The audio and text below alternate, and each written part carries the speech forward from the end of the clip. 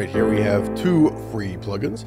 We have Tape Cassette 2, which obviously is a cassette tape emulation plugin, and Flux Mini, which is a movement filter. Now, both of these plugins are free, but they do require a serial number, and you will get your free serial number in your account. All right, so once you load these up in your DAW, open them up, they are going to ask you for a serial number. Head back to your account, copy your free serial number, paste it in, and you will own both of these plugins forever.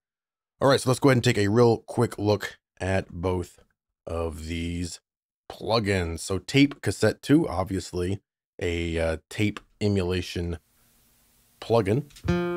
Here it is on guitar. You have saturation.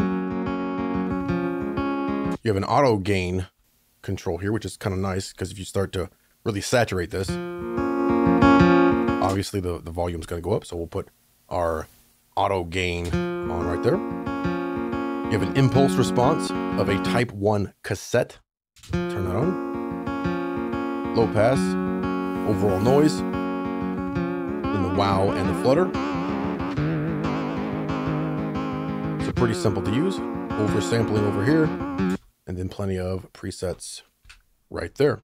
Let me bypass this. All right. Bring in some tape goodness. Constrains that frequency range to cassette tape. Pulling some noise if you want.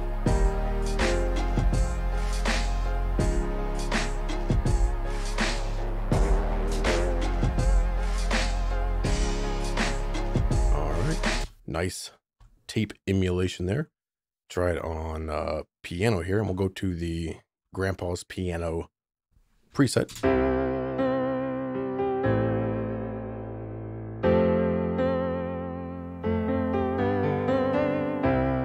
That's very 80s like. I bypassed that. Completely clean. Back on, there we go.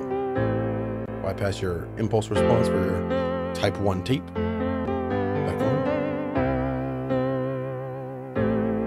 All right, so that is tape cassette 2. Again, pretty simple to figure uh, figure that one out. Then we'll move on to Flux Mini here. So this is our movement filter. Let me bypass it for now. Just it on these drums here. Let's turn on our filter. Bring some movement and life to that. We have three different modulation types, amplitude, low pass, or high pass filter. Change your sync. So speed it up, make it slower. Put on the low pass there. Change the resonance. High pass filter. Overall mix of that. A lot of presets up here to get you started. In fact, let's go to this bass track right here. I'll bypass it for now. So there's the bass. Pretty simple, just the static bass sound. Now we'll turn this on and we'll choose the fake chain 2 preset, which sort of emulates having a sidechain kick uh, into a compressor and on the bass track, you know, if you want your bass to uh, to pump. So we'll just turn this on. Now we have a nice pumping bass sound. Of course, we can modify this however we want. Like on the amp there, slower, faster.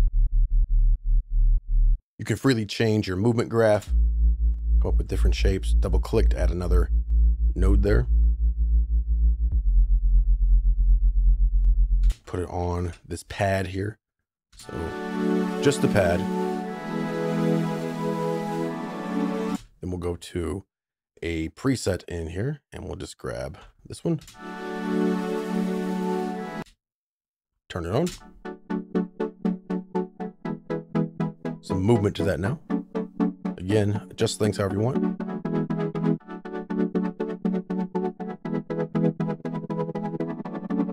You can also trigger this with uh, with MIDI if you want. Of course, you have to have a track that's outputting MIDI to it. So I have this track here, outputting MIDI to this uh, Flux Mini right here. And of course, turn it on. Let me change this preset first back to our fake chain for our bass. And I'll turn it on. We'll just say one shot and you're not going to hear anything until I press a key on my keyboard. That triggers it. So trigger it whenever you want. And then you can also trigger it uh, with a re-trigger. So you can re-trigger this movement. So if you want to pick up both of these plugins or just pick up one of them, you can head right over here. Of course, the link will be in the description below. Again, both of these do need a serial number, but the serial number will be completely free. So log in or register and create an account.